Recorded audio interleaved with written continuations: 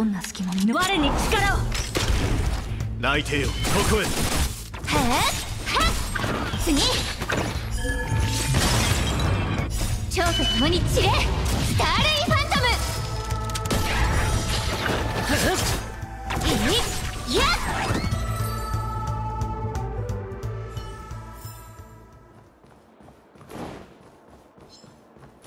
っこれはかすかに火が残っているな。しばらくは。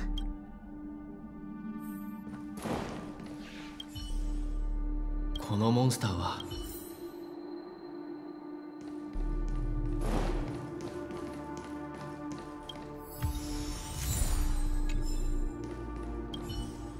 このモンスターは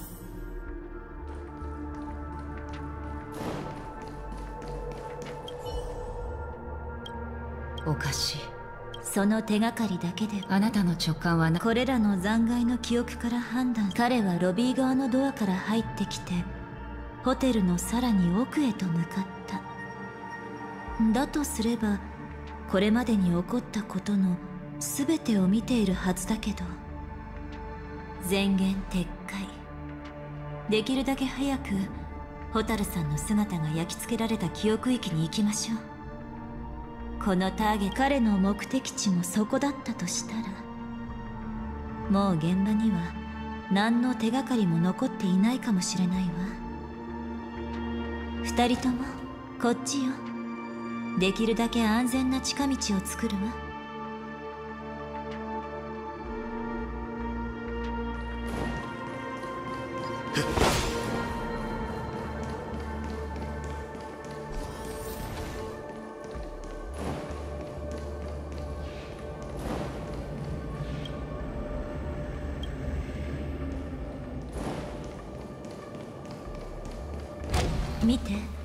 ロビーを離れると構造が乱れる。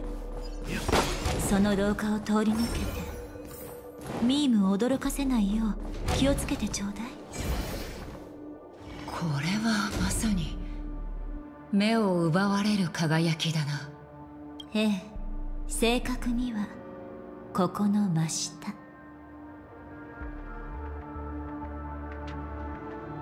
二人はメモキーパーのように物理的な構造物を通り抜けることはできないけれどこの部屋の下の階に安全にたどり着けるいい方法があるわ。簡単よ。この大きなシャンデリアが見える。これから私たちは常識に合った物音を作るの。前に教えたことを覚えてる。奥室の流れを感じて壁を歩いてそしてそれに近づく。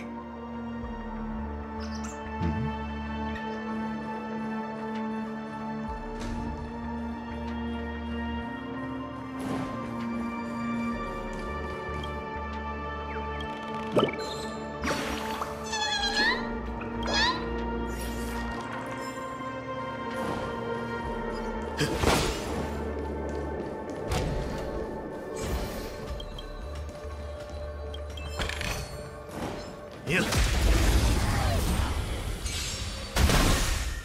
我に力を。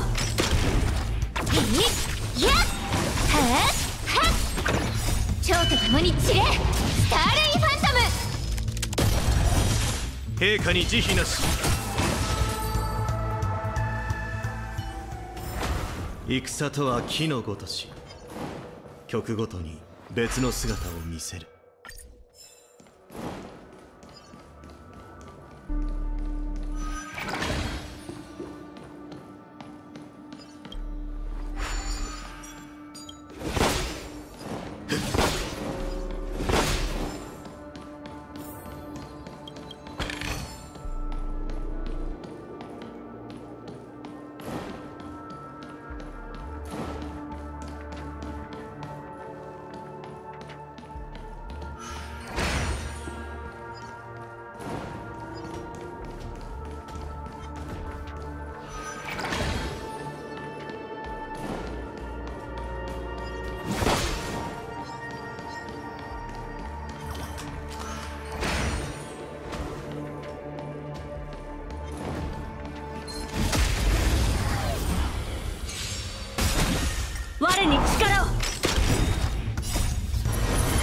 守るべき者のために打ち崩せ！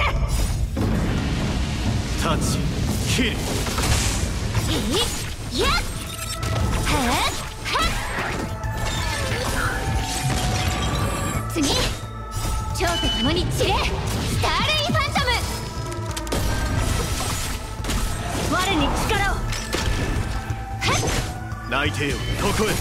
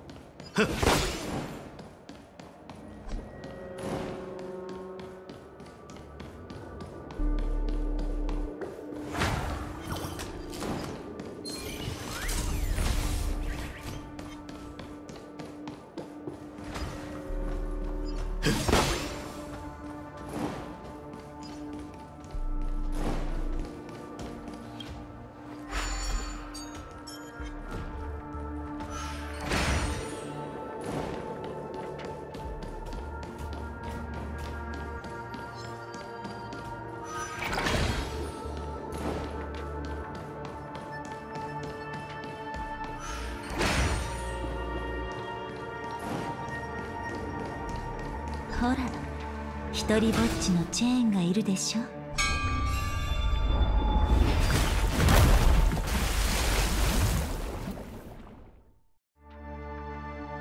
ほらここから。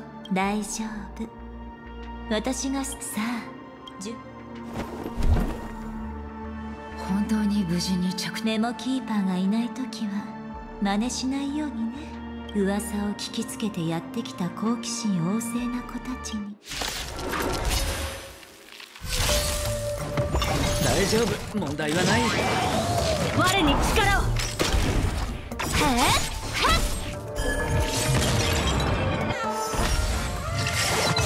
陛下に慈悲なし。亡者再臨。っ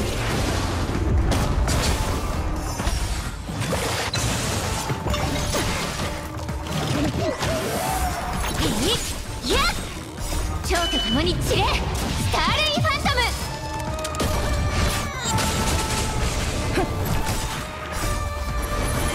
守るべき者のために打ち崩せ！天使を授けん。償いたまえ内定よここへ。タッチキ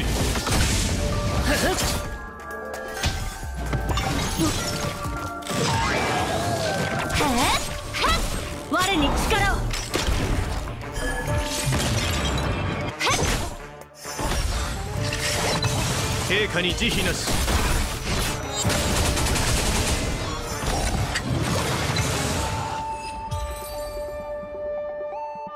これで邪魔者は消えたわね。さあちょっとしたマジックを披露してあげる。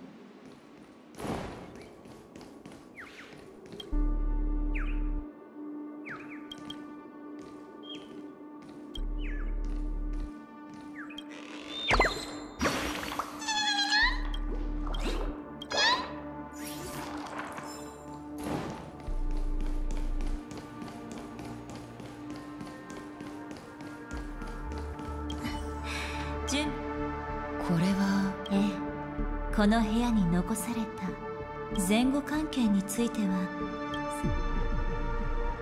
の時私が間違っていなければ。彼女影でもそう呼んでいるならともかく。彼女は自分のだが彼女は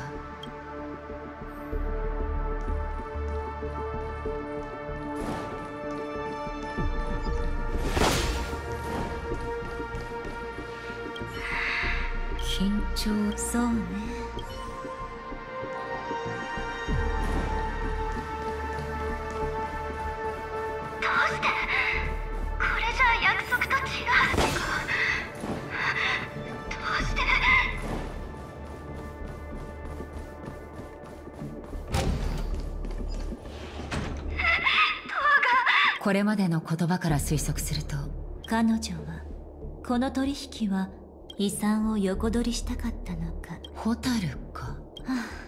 これはあくまで最悪の過程に過ぎないわ。でも考えてもみて。彼にはもっと気になること。または確認が必要なことがある。もしくは確認している最中なのかもしれないわね。横の廊下から出る以外彼女に道はないわ。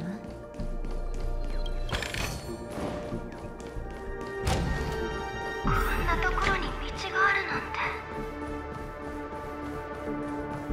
変幻自在の通路は記憶域ミームを指し示している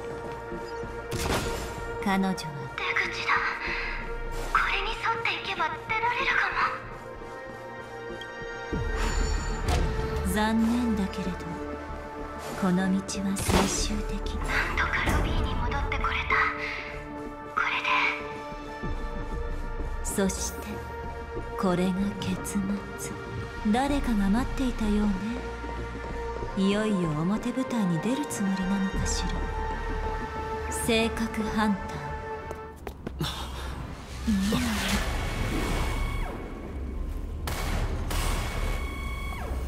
気をつけろ。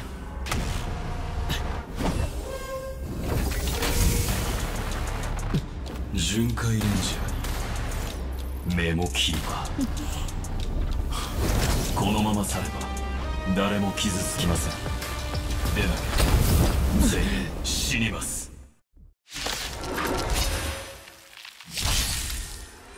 探偵ごっこは終わりです。あなたたちはここにいるべきではありません。実行。速やかに作戦を調整しなきゃ。我に力を。しつこいへ内定よここへ。私は大会に火をつける。アクションは実行。え楽にした蝶と共に散れ。スターレイファントム。いや。避けられない一戦。我に力を。うっとうしいわ我々はねとうに嵐に踏み入った。守るべき者のために。打ち崩せ。へ厄介を避け助かったわ。償いたまえ。気を逃して。はなら。ないお別れの時。現実に戻ったら全ての人に伝えてください。あなたたちの旅を終わらせたのは性格ハンターだと。焦土作戦実行タッチキルしつこい。いや我に力を。楽にしてあげ蝶と共に散れ。スターレイファントム。隙だら陛下に慈悲なし。消滅開始亡者再臨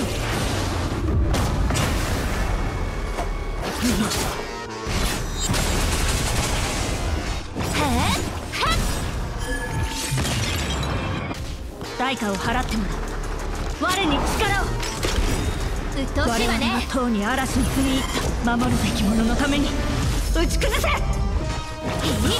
いや内定よここへセカンドギアアクションは実行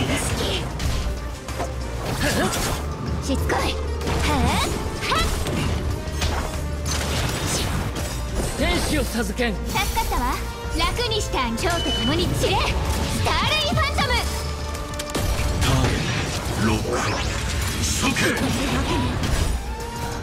亡者再臨。避けられない一戦。我に力を。うっとうしいわね次。陛下に慈悲なし。殲滅クラウタッチキル消滅開始。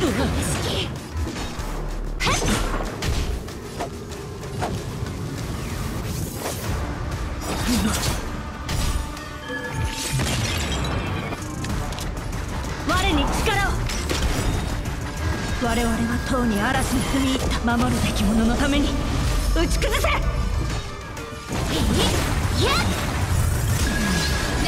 蝶と共に散れスターレインファントム。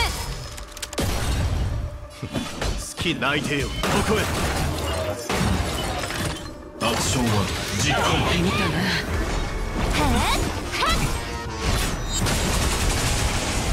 代価を払ってもらう我に力を。うっとうしいわね。いや。こうなった以上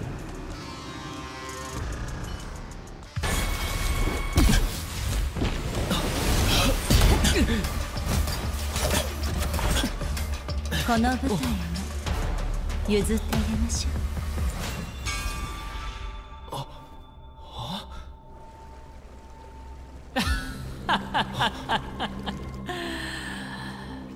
う。素晴らしいショーを見せてもらったよ。お疲れ様メモキーパー。なかなかいいおびき寄せ作戦だったね。レンジャーとハンターが一緒にいるのを見た時はさすがの僕も心臓が縮んだけどまさか君が彼らを戦わせることに成功するとは思わなかったよ。約束通りこの子をあなたの前に連れてきたわ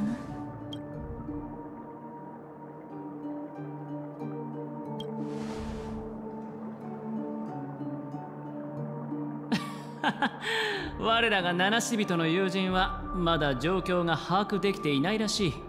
でも大丈夫。ちゃんと説明してあげるから。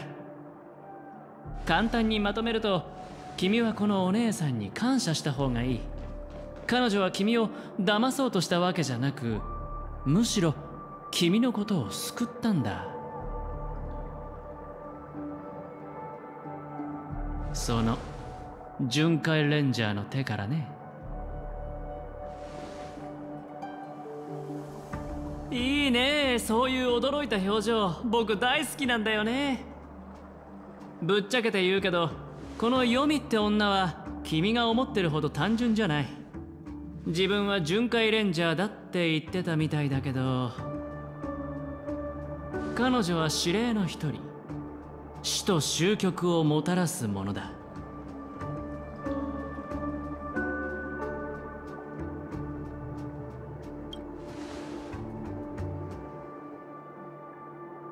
あの場？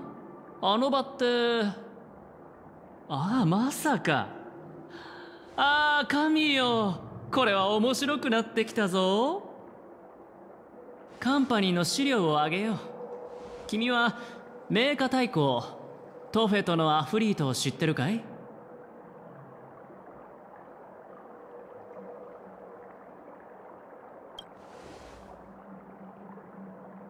へえさすがだね。それなら話は早い。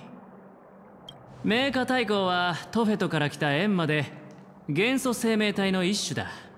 そしてその出自はある天才と少々関係があると言われている。仲間と栄華艦艇を結成した彼はナヌークを首とみなしているんだけど実際にはその太閤の指導を受けて四方を焼き略奪を行い壊滅の意志を実践してる。ファミリーのおつむに何か問題があったのか誰かが手を加えたのかはわからないけどなぜかそいつらにも招待状が届いてしまったんだ。もちろん栄華艦艇は断ることなく押し寄せてきた。宴の星を火の海にすると誓ってね。でも心配する必要はないよ。彼らは約束の場所には来ないから。なぜだかわかるかい？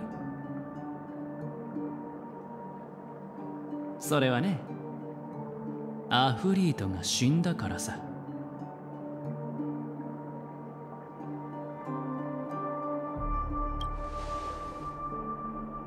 彼らは約束の場所に向かう途中で全滅した。犯人は神業とも言うべき手口でアフリートを惨殺。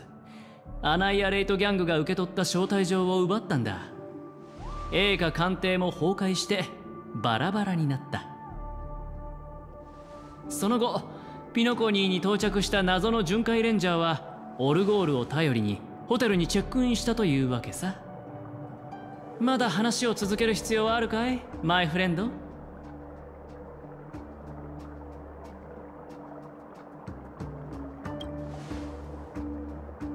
巡回レンジャーは神出鬼没でお互いの交流も乏しい。隠れ蓑としては最高だ。彼女が口を割らない限り証拠はゼロだ。カンパニーなら追跡調査する方法もあるけど時間がかかる。だから君が選んでくれ。今すぐ振り返ることなくここを離れて真実に近づくチャンスを永遠に放棄するか。あるいは僕の誘いを受け入れピノコニーをひっくり返せるほどの真実を知るか。僕には君の助けが必要だから返事は待つけどあまり長くは待てない。準備ができたらついてきてくれ。僕に協力するかどうかについてはその真実を見てから決めても遅くはないと思うけどね。ヨミがアイオンの指令？でもあいつは選択のよまあ傷ついた衝動。蛍さんのことはなぜアベンチュリンさんがいえ？これはいずだからこそ私が取引をして彼はあなたを必要としている。そピノコニーでは。でも覚えてる？ガーデンは請求列車が。銀河。私の意見は私から見ればアベンチュリンさんは信用ででも彼らと契約を結ぶ時は気をつけて。ええもうあなたが混乱それでも。アベンチュリンさんを信じあなたのことは真実のために。それじゃあ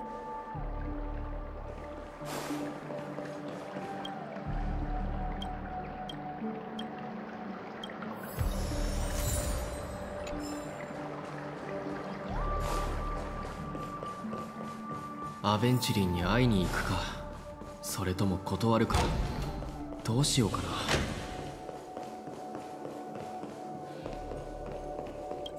いいね。何しろ僕僕は損する取引はしない主義なんだ。フレンド諸君僕をがっさ。こっちだ。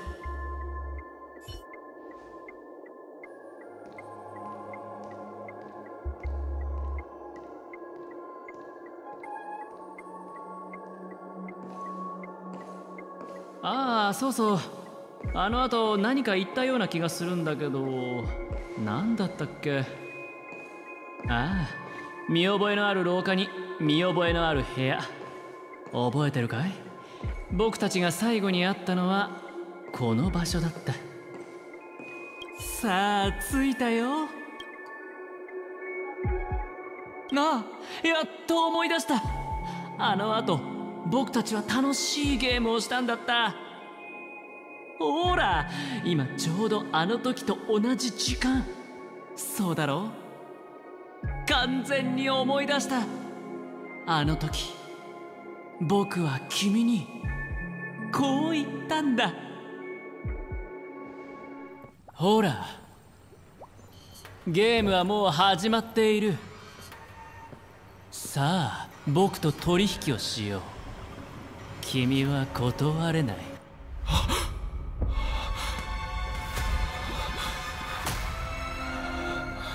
断る理由がない。断る余地もない。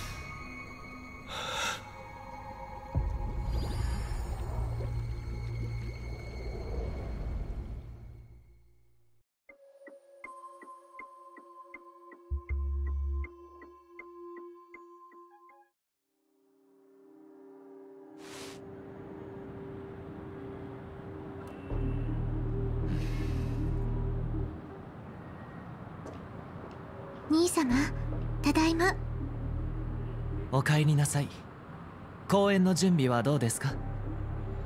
いい感じよ。安心して。いい感じ？ああいけません。あなたはファミリーの誇り。その余計な感情があなたの完璧な音律に影響を与えないようにしなければ。分かったわ。兄様なんだか落ち込んでいるように見えるけれど何かあったの？もしかしてあの時計屋から招待されたゲストのこと？ええ先ほど報告を受けました。死が彼らの一部を連れ去ったと。もしかすると誰かに指示されたのかもしれません。ああすみません。あなたが帰ってきたばかりだということを忘れていました。この件については知りませんよね。いつからかピノコニーに死という名の悪夢が現れ人々を無差別に襲い全ての人に精神的な死をもたらすようになったのです。ファミリーが作り上げた夢の中ではどんな不幸もあってはなりません。ですがそれは無教の秩序と平和をひどく破壊したなんと憎らしいことでしょう。そんなことが起こってたなんて。じゃあまた誰かが被害に遭ったの？ええ。合わせて二人。一人は密航者。もう一人はあなたです。もういいでしょう愚者。あなたの行いは私を失望させました。へえ鋭いねタバオちゃん。